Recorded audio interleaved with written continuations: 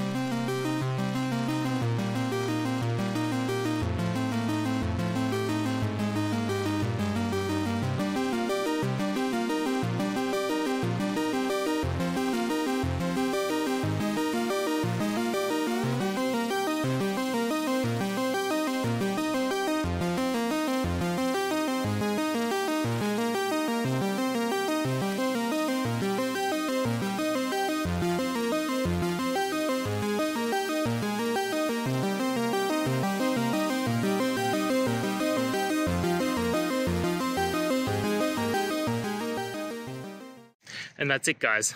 I hope the video helped find the resolution that you're looking for and you got the answer and worked your way through. If it did, please hit subscribe. I'd really appreciate it.